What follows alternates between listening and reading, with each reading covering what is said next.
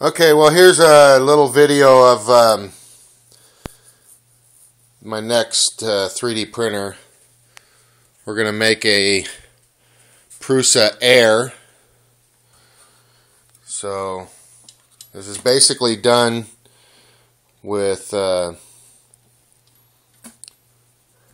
3 8 all thread, nuts, washers, bearings, and I machined these at work so but the the whole thing slides back and forth.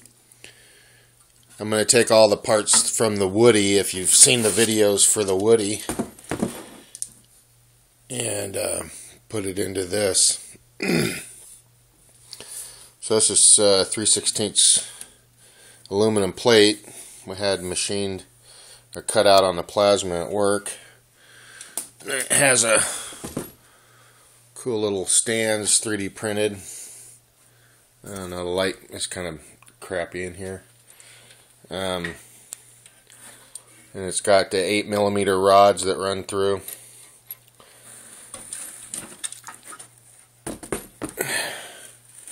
And the motor mount sits here and the belt runs through.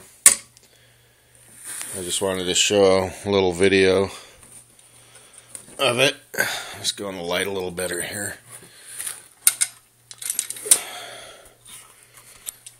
So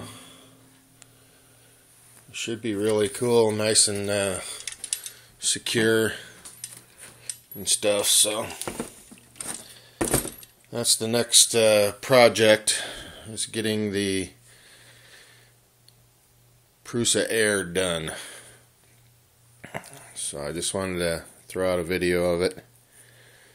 Alright, there's an update. Take it easy.